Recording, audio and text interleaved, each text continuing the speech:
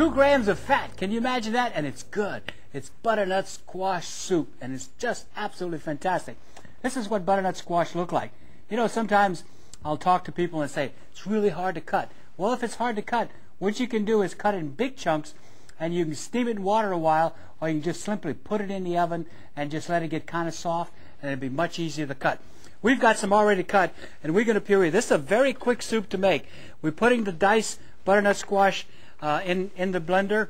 We're going to add some, uh, this is no fat uh, canned evaporated milk. If you can't find that, you can probably find some low fat. This is a defatted chicken stock, which is absolutely wonderful. Uh, this is powdered milk, which you can get also at, in a no-fat form, and a little bit of, uh, I like to put sweeteners in it. And this is artificial sweeteners we're going to put in, and we're going to put them right in there, and we're going to blend it. What I've done, I've taken some of the butternut squash and diced it real small for texture and color to put into it. And this is a mixture of, of sweet spices and sugar, a little bit of that, and I'll tell you, we've, we've got one of the greatest butternut squash cream soups you've ever tasted. Two grams of fat, and if that's not good cooking, good eating, and good loving, we love you guys out there.